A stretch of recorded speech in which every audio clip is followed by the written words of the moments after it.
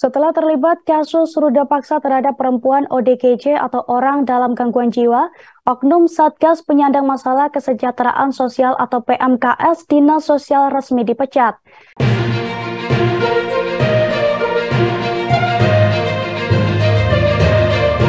PLT Kepala Dinsos Karawang Ridwan Salam menegaskan pihaknya langsung memecat petugas honorer tersebut.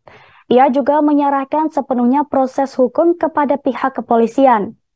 Dilansir dari wartakotalive.com, Ridwan Salam menjelaskan bahwa pihaknya juga berjanji akan melakukan evaluasi SDM di dinasnya agar kejadian serupa tak terulang kembali. Pelaku sendiri belum satu tahun bekerja sebagai Satgas PMKS. Menurutnya, sepanjang pelaku bekerja juga memiliki beberapa catatan dalam melakukan penanganan.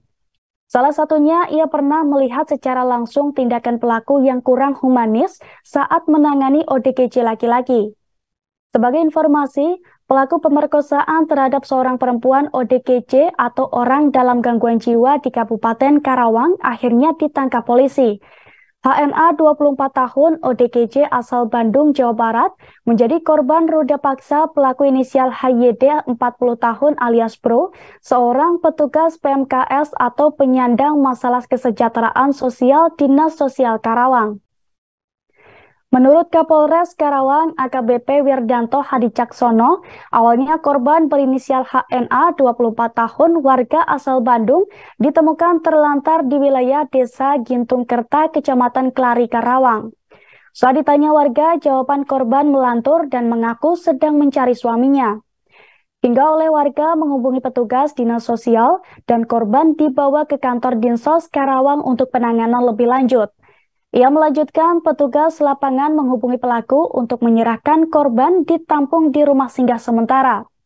Setiba di kantor, pelaku meminta korban untuk membersihkan diri dan mengganti pakaian. Akan tetapi memasuki waktu dini hari, saksi petugas damkar yang kantornya bersebelahan mendengar adanya teriakan dari dalam kantor dinas sosial tersebut. Ketika datang ditanyai, saksi korban menyampaikan bahwa ia telah disetubuhi oleh pelaku, namun pelaku telah membantahnya.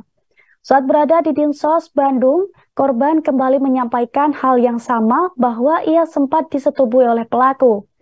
Hingga akhirnya ramai aduan masyarakat terkait aksi tidak senonoh yang dilakukan oleh pelaku tersebut.